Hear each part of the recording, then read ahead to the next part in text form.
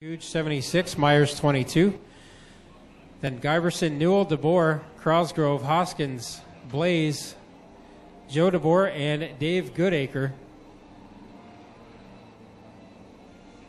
Ready to come to the green here. Wirt will start on the pole. Transponder appears to be working, so we will be able to score him in his spot. Wirt and Twitchett bring them to the green in the first qualifying heat of the night for the HRW Automotive Mini Stocks. One car not making the call is John Jansen's in the 66, so that's a contender that these drivers won't have to deal with here. Up front, Twitchett quickly opening up a lead, three wide for second as Newell will take that for the moment. Yeah, Newell into the second spot. Here comes Crosgrove with a nice run on the outside. Will grab the third position in car number 96. So Crosgrove up to third. Myers back to fourth, and the pole sitter now slips back to fifth.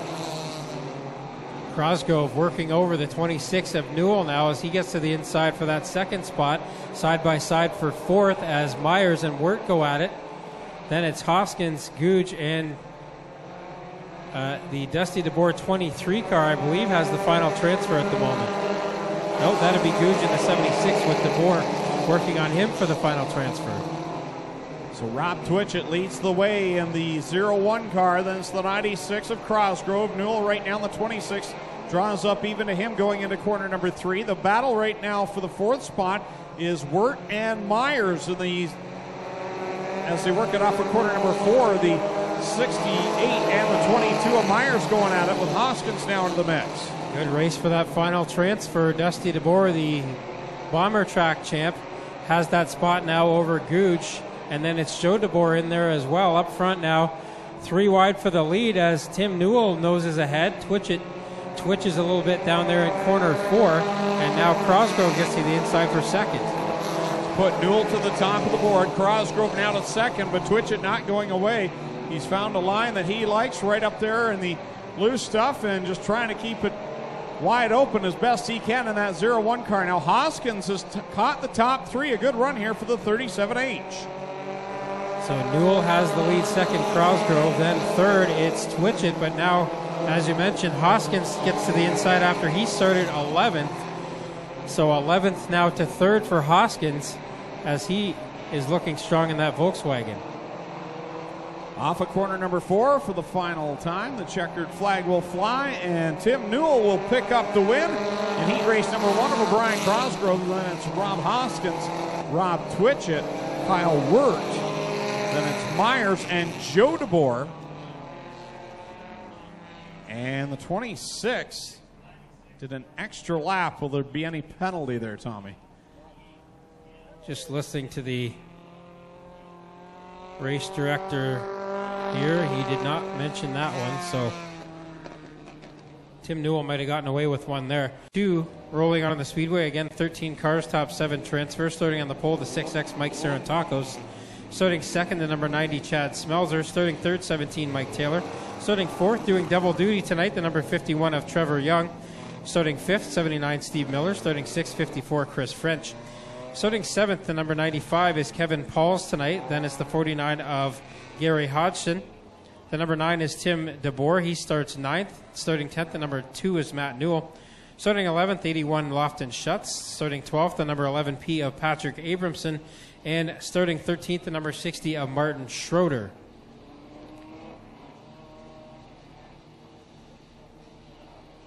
So Kevin Paul's in the 95 tonight. Used to seeing him in the 46 car this year. And Smelzer did not get going on that start. Neither did Hodgson. As both of them have troubles, that's good news for Sarantakos and everybody else who started on the inside line. Well, it looks like both Smelzer and Hodgson have their cars going. Now Hodgson's car, well, spitting and sputtering. It'll go, and then it stops in the 49. So troubles for Gary Hodgson right now as we come by to complete lap number one. One, Mike Sarantakos, your leader over Mike Taylor in that 17 machine. There's a bunch of beating and banging back in turn four at the back of the pack, and now again, Schutz and Schroeder get into it in turn number one. Both keep it going there, but watch that 81 and 60. They've already run into each other a couple times here early in this one. Off of corner number four, Mike Sarantakos leading the way by a handy amount over French in the 54. Trevor Young doing double duty tonight in that 51. He's also in the crate sprint 51X. He's running third. Now they're going to make it four wide. To the outside goes Smelzer. They all fan right back out, and it's the 79 of Miller grabbing the fourth spot over DeBoer, Taylor, and Smelzer for the moment in that seventh position. Boy, there can't have been much room between Smelzer and that turn two wall out there as he was way up high. Now contact between Taylor and Pauls in the 95. Again, everybody keeps going, but there's been a bunch of fender banging here in heat race number two. That all benefited the 90 of Chad Smelzer, who got by both of them, and he gets into the sixth spot. So right now, the 95 of Pauls, he is the transfer car. Everyone behind that on the outside looking in. The pressure is on now with two to go. Sarantakos with a big lead, the three Mustangs out front of this one, and Steve Miller trying to make it four Mustangs in, in the top four spots as that's one of the better battles on the track with DeBoer in the nine and the 79 of Miller. White flag out now up front for Sarantakos. Good battle back there from fourth on back. Four wide. They will go down through corner number two. Miller on the outside now. Here comes Paul right up through the middle. DeBoer on the bottom side. Pauls will grab the fourth spot. Nice bit of driving as the checkers come out. Sarantakos gets the win. French will be second. Young is third. Fourth is Pauls. Fifth will be DeBoer. Sixth will be Miller. And I'm going to go to the transponder to call that seventh and final transfer. It looks like Chad Smelzer got it in the number 90 car. So Pauls, Schutz, Taylor, Hodgson, Schroeder, and Abramson are heading to the B main. And still some beating and banging there heading into the pit lane between some of the drivers who finished just outside the transfer spots. He raced. Starting fifth, number 93, Chris Reichman. Starting sixth, it's the 64 of Doug Erskine. Starting seventh, the four of Aaron Merwitsky. Starting eighth, the 88 of Adam Nye. Starting ninth, one of the championship contenders, the 63 Brandon Crumby. Starting 10th, the 21X of, is Mark Bazine. Starting 11th, the championship leader going for two in a row, the 66 X of Brandon Janssens, then the 45 Rob Sauter, and the 7 of 40, uh, the starting in row number seven by himself, the 43C of Clinton Nichols. Here we go. He raced number three on the track and ready to go. Green flag is out. Olivieri gets a good start. So Olivieri in the Fortinos 16 has the lead here. Then it's Sims in the 17K who moved up from the Bombers, and she's got that second spot. A bit of a slow, herky jerky start to this one. Working off the inside, Jonathan Ayrton puts the 21 car down on the bottom. The veteran Doug Erskine works to the top here in the number 64. It's Reichman with Bazine all up the tailpipe of the 93.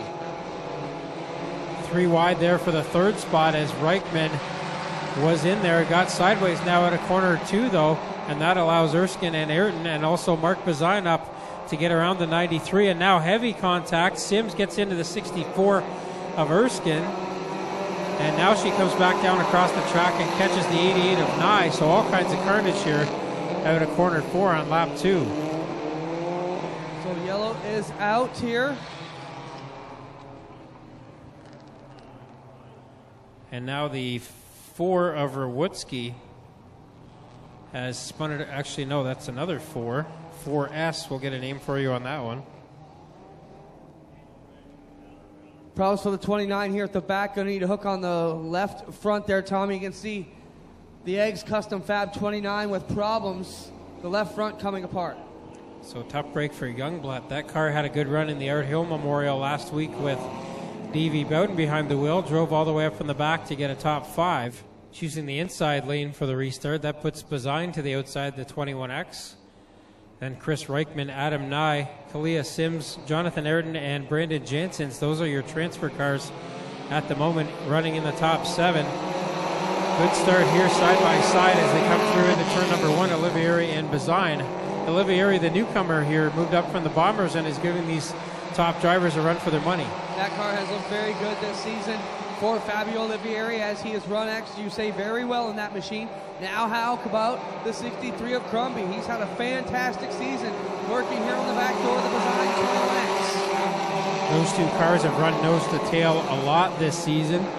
And now Crumby gets a run out of corner two. Can't get a move done that time, but Crumby is right there looking for that heat race win over Mark Bazine.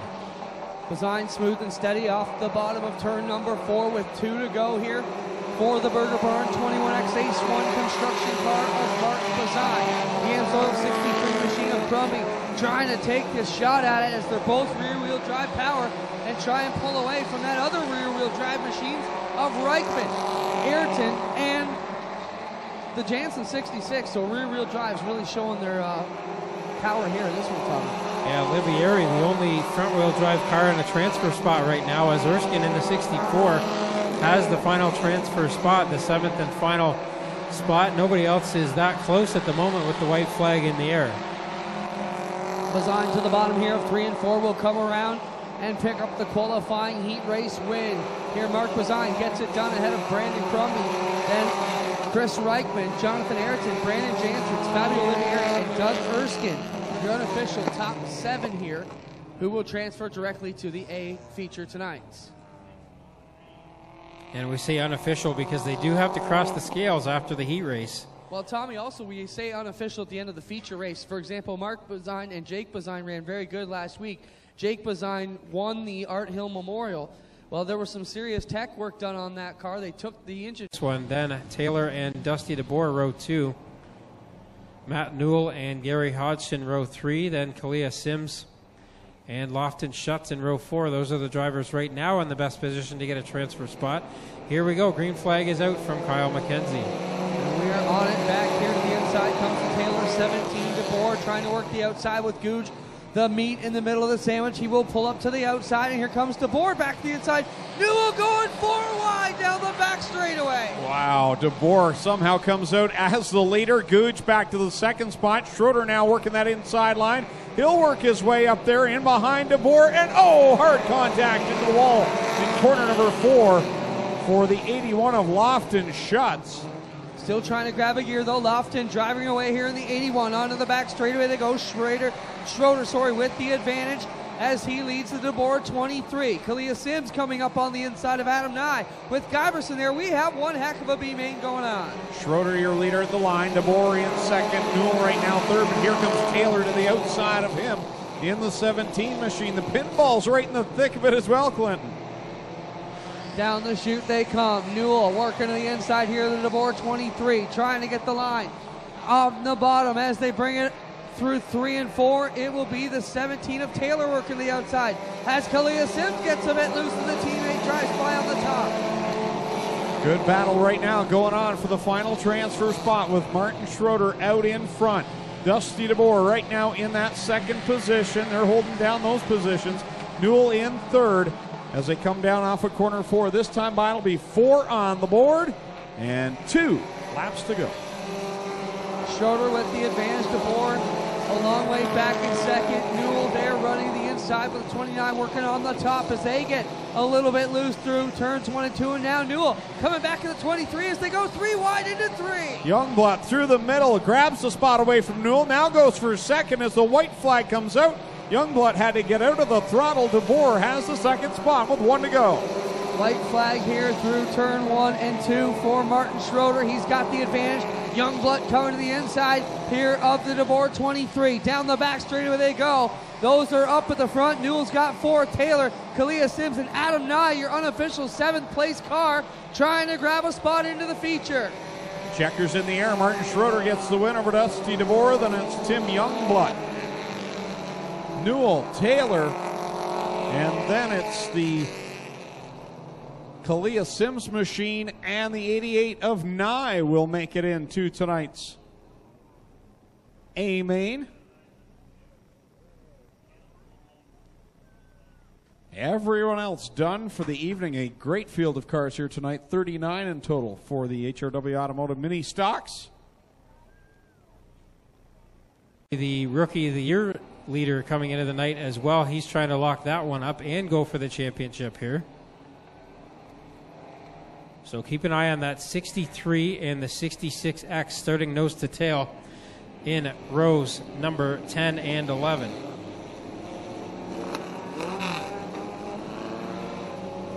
Again, we want to thank Epic Racewear for presenting our season championship night here again in 2016. Down the backstretch they go Kyle Wirt and Tim Newell leading the way for the final points race of 2016 for the mini stocks. Well, here we go, Tommy. The final point nine for the HRW Automotive Mini Stocks, and green is out. Kyle Wirt gets overhauled here on this start. Missed a shift or something. 68 dropping like a rock. Hoskins in the 37H had a good run in his heat race, and he's carried that into the feature so far. The early lead for the Volkswagen machine. Then it's the Honda behind him. Then a pair of Mustangs. Now Chris French and Brittany Myers get into it, and that puts French back a few spots as everybody sorts out here, trying to get single file if they can. Three wide through the middle portion. Four wide is Erskine and Smelzer. Cornering Ayrton and Myers. Now Erskine gets loose in two. Oh, he gets turned around, gets cuffed, but somehow straightens out. What a good bit of driving by the back half of the field. Boy, that was right in front of the two championship contenders, Brandon Crumby and Brandon Janssens. They both snuck through, as did everybody else. And we see green flag. Brandon Janssens three wide back there with Youngblood and Nye. Up front, it's all Rob Hoskins right now. For a minute, they were five wide at the back. Craziness ensuing here as Janssens got to hold tight and get up front of that Crumby 63. You mentioned, just like Bailey, the magic number is 10. So Hoskins has opened up a big lead here, looking for his first feature win of the season. Got a straightaway lead over Tim Newell. Then it's Tim DeBoer. Mark Bazine's already made his way up from row number 10 up into the top five in that 21X car. So he gets around DeBoer now for the third spot. Working this one back around to the back straightaway. Hoskins with a big lead as Bazine finally gets around the DeBoer 9 and the Newell 26. Trevor Young running good in the top five here in the 51. Trevor Young going to pull double duty here as he's going to get into it, get into his crate sprint car right after this one. Right now he's running up in the top five in the mini stocks, trying to take away that fourth spot from Tim Newell. Here comes Chad Smelzer in the 90 car. He's made his way up a few positions, as has Sarantakos in the 6X. Well, as they work this one around to lap number six, Bazine finished third last week. Would love to get up a couple spots, but he's going to need a caution here to reel in that Hoskins 37H. Has problems here for the 95 on the back chute. He gets sorted out. We keep rolling. Hoskins' quickest lap of the race is faster than Bazine's quickest lap of the race, so Hoskins has that Volkswagen moving tonight as he has almost a full straightaway lead over Bazine. Then it's Tim DeBoer, Chad Smelzer, and Trevor Young as they come up on what would be the halfway point in a regular Friday night feature, but tonight they'll go 20 laps on season championship night. So a few more laps for Hoskins to try to lock this feature down. Well, Hoskins is having a great night here. That early jingle when they got crossed up really helped him drive away from this field. Chad Smelzer, another guy who's got a great drive going in fourth. Hasn't had good luck, but he's had speed this past month or so. Smelzer started ninth up to fourth, and he's looking for the third spot on Tim DeBoer as DeBoer works around the 22 of Myers to put her down. It's still Hoskins up front at the halfway signal now, 10 in and 10 to go, and Hoskins may catch some heavier traffic here before the end of this one. Hoskins still has a fair way to go, but you're right, Tommy, this extra distance could pose an issue for him here. Still 10 laps to go in this one.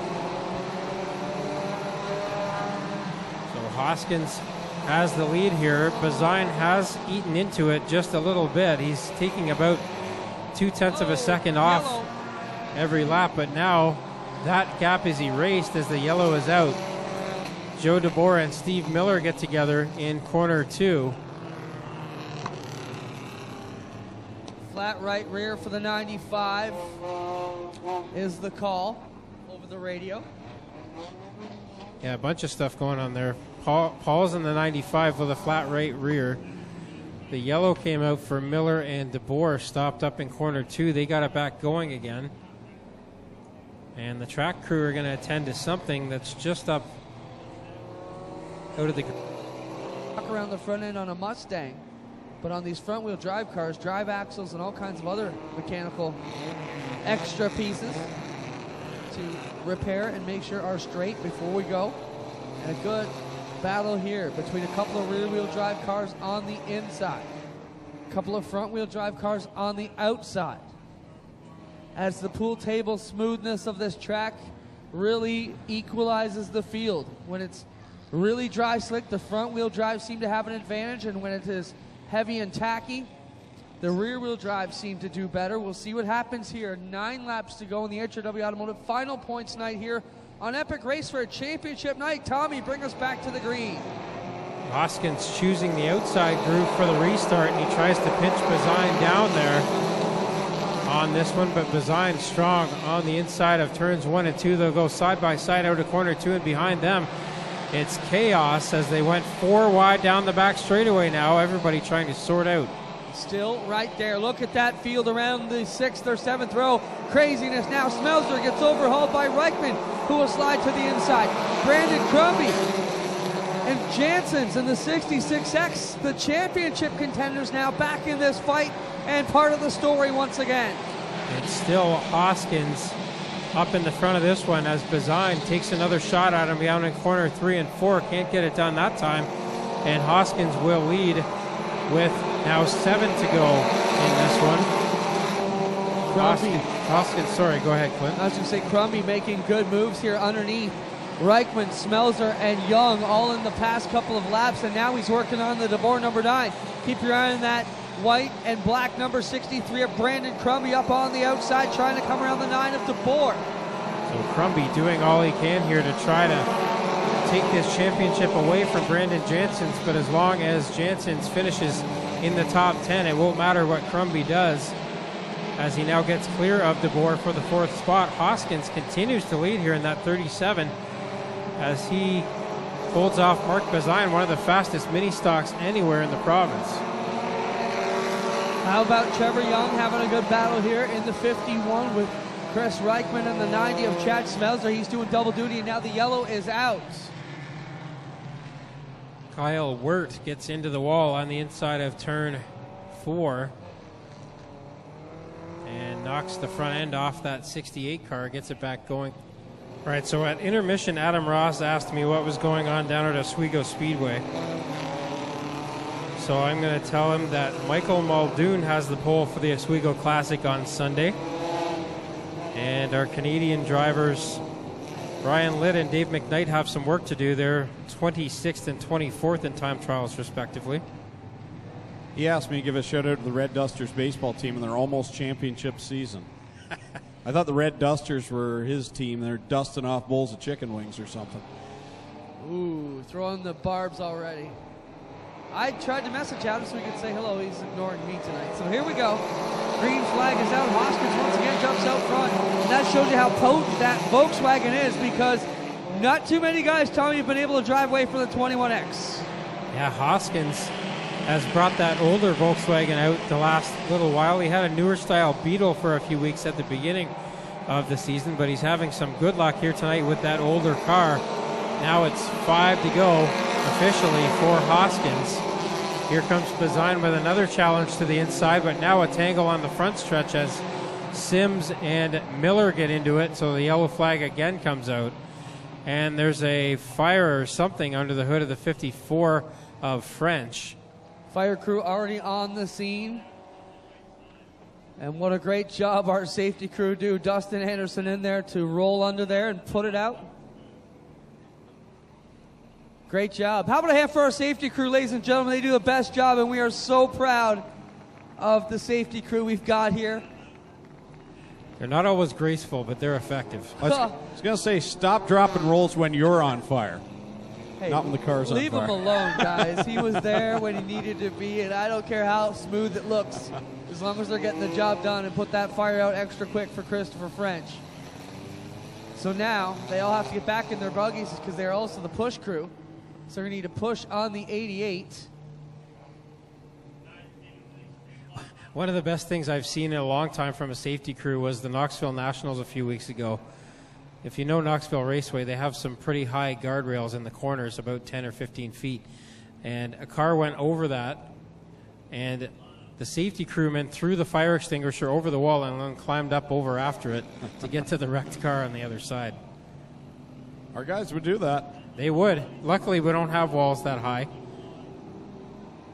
Although there was one night when we saw Mike Lynn get up over the fence in turn number one, and the safety crew didn't take that long to get there. Actually. Back to green flag racing this time by Hoskins, the leader with four laps to go. Single file restart now with under five laps to go in this one.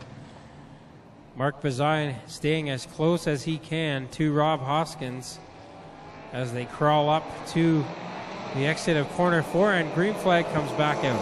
Hoskins once again able to drive away. We've got four to go here as Crumby would like to cap off his season with a feature win. He's been in a lot of great runs this year, Tommy.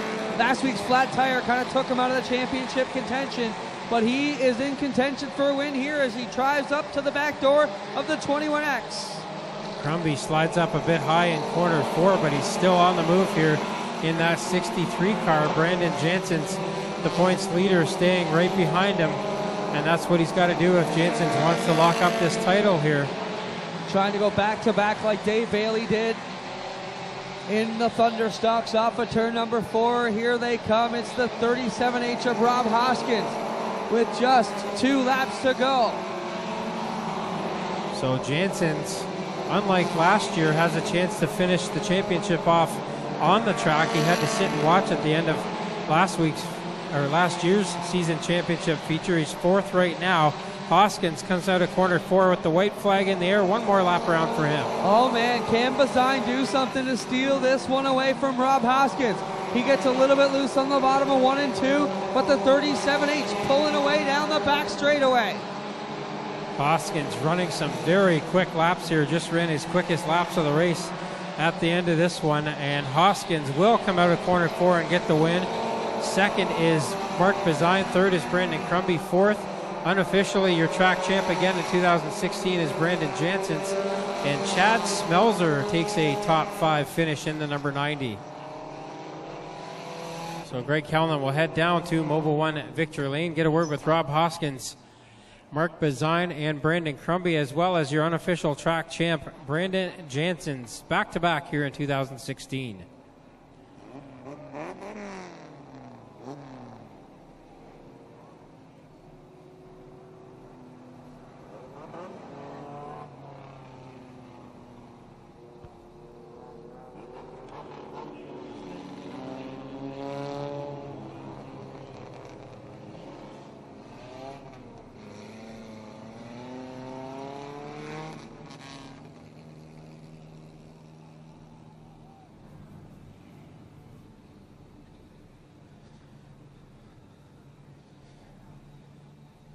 Well, the Rabbit jumps to the front of the field here in Epic Racewear Season Championship night. Down here in Mobil 1 Victory Lane, out of the car comes Rob Hoskins.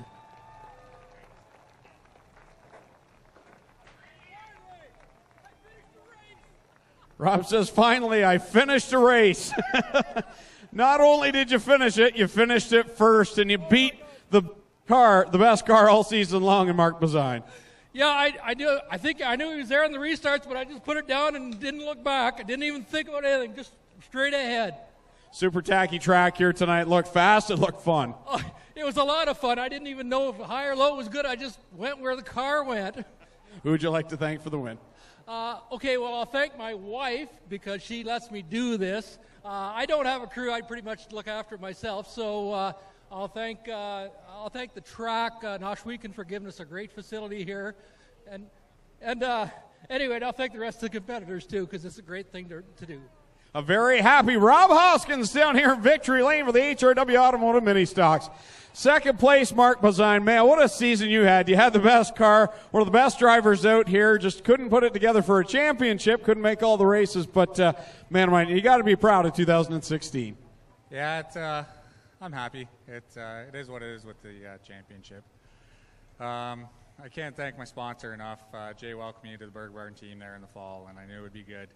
I had the car to beat all year, and I knew that. Um, what, what more can you ask for? As the family settled down from the win last week in the Art Hill Memorial for Jake. Uh, I think he's going to rub it in all year. There you have it. Mark Bazine comes home in second. We'll grab a hold of Brandon Crumby here, who comes home in third, second place in the standings in his rookie season. Brandon, is it safe to say you enjoyed dirt here in 2016? I had uh, pretty well the best season I've had in probably about eight years. It's it's just been fantastic. Did you ever imagine you'd end up in victory lane and be up in the points chase by the end of the season? In my first year, absolutely not. I uh, never expected the success we had with this car, but uh, as soon as I got it from Jason, he said I was going to have fun, and uh, he wasn't wrong. Who would you like to thank? I got to thank my dad, uh, my girlfriend, everybody at home, uh, California Dave's, Amsoil Synthetics. Everybody makes this happen for us. There you have it. Brandon Crumby comes home third tonight, second in the standings, and for the second year in a row, Brandon Jansen's at the top of the pile. A good, solid season. Consistency got the championship this year. Yeah, it was a great season. Um, that was it was pretty pretty nerve wracking. I was nervous all week. Didn't get, didn't sleep very good. But uh, my strategy for this race was just to follow that 63 car. I knew I could I could afford 10 positions. He could afford 10 positions on me, but I just stuck to the rear of him. And then at the end of the race, it wasn't risk worth the risk of trying to pass him at all. I just wanted to finish and finish it up. Who would you like to thank? Uh, I'd like to thank our sponsor, uh, Hawkins Electric, uh, Hammond Air Conditioning, uh, all my friends and family and fans that come every week, uh, my crew, uh, Kyle, Spence, Martin, my brother, and my beautiful fiance, Vicky, for putting up with all the time that I spent with this car and with my team and, and it takes a lot of effort to do this, and it's not easy to do, and it's not easy to do by yourself. You need lots of help. There you have it. Brandon Jansen's the champion for 2016. We'll bring in the Epic Racewear crew, and Brandon will get himself a brand new fire suit courtesy of Epic Racewear. Tommy, guess what? Now it's the crate feature. We're ready to go. Thank you, Greg. I haven't been here since August 5th, so cut me a little bit of slack. It's good to be back here tonight.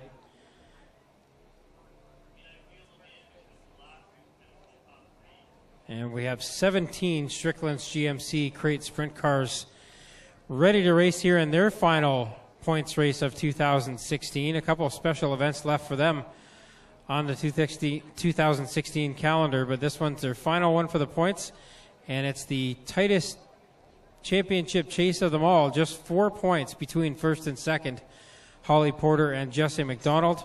Here is your lineup for their 25 lap Epic Race Racewear season championship feature. Starting on the pole from Caledonia, the runway energy at Ohsweken Speedway, number 88 is Jesse McDonald.